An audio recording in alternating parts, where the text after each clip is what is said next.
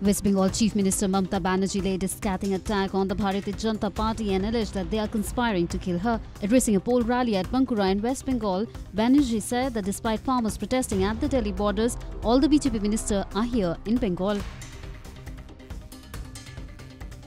Uttar Pradesh Chief Minister and BJP star campaigner Yogi Adityanath launched a scathing attack on the Trinamool Congress, saying only 45 days are left for the party's departure.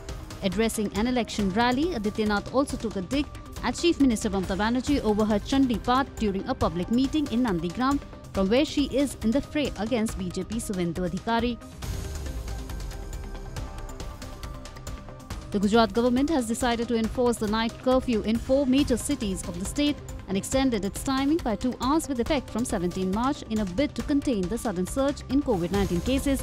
The curfew will now remain in force in Ahmedabad, Surat, Vadodara and Rajkot from 10 pm to 6 am from 17 March till 31st March.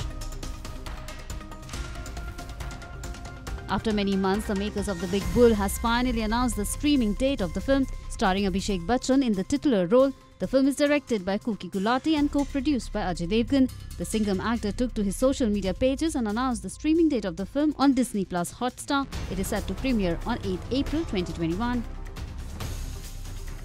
Authorities said England's remaining three Twenty20 international against India will be played behind closed doors because of a surge in COVID-19 cases.